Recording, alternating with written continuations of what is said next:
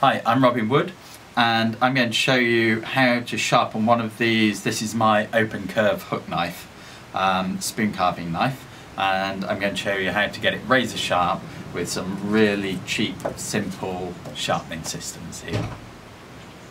So a lot of people uh, struggle with sharpening these hook knives but actually they're remarkably easy.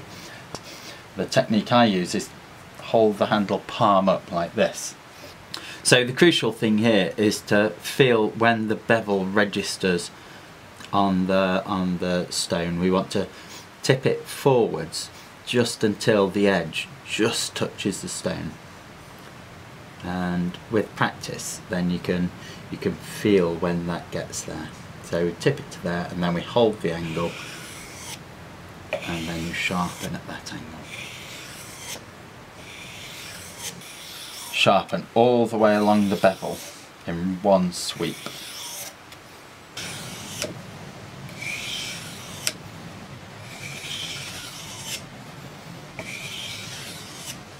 You, you can do it like this, but you tend to result in lots of little flat areas. So what we've got to do now is find out if we've removed metal all the way to the edge. That's the crucial thing. The first way that I test for that is feeling to see if there's a burr there. Dragging my finger obviously away from the cutting edge very carefully um, and you can maybe feel just a tiny little burr like a little hook on the edge just catching at your finger. If you feel a burr all the way along the edge then you know you've removed metal from the edge. The other way to tell um, is with magnification. This is a little jeweler's loupe, um, 20 times magnification. And I look at the edge and I can see the scratch pattern from the abrasive, the sort of diagonal marks of the, the scratches from the abrasive and I want to see that those go all the way to the edge. And if they do, then I'm ready to move on to the next, the finer abrasive. And now I'm going on a 1200 grit just doing the same thing again. And I do this probably about 15 or 20 times. I just want to remove all the scratches the very coarse scratches from the 800 paper. And a nice consistent action going all the way to the edge and when I look at that now I can see I can see it's much more polished all the way to the edge with finer finer scratch pattern. That's good. So we're now ready to move on to the finest paper I've got which is two and a half thousand grit.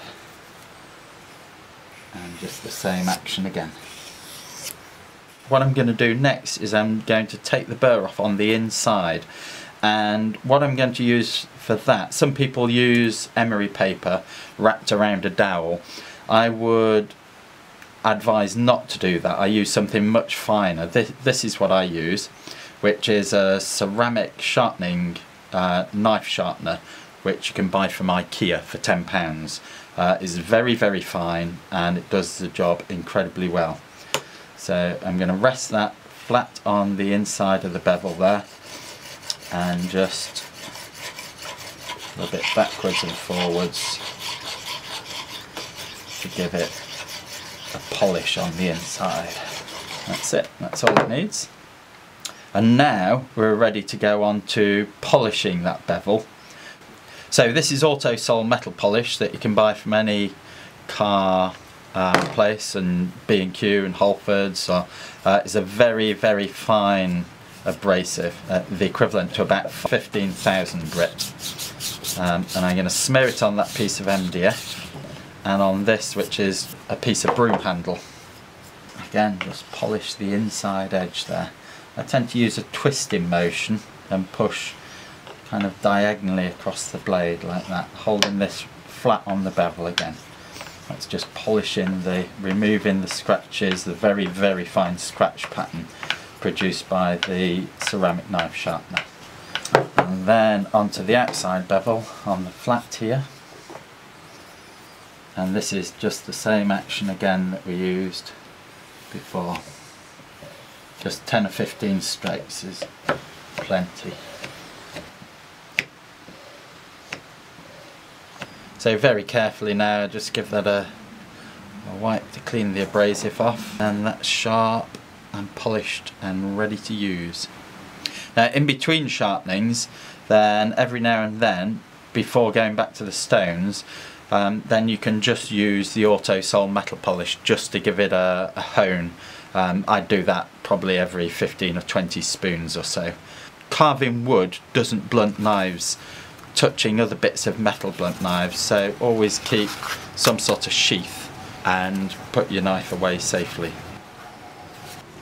Okay, so when we've uh, we've polished that, and the last thing to do is just to test it out. Should just go through the wood with so little effort and leave a beautiful polished finish.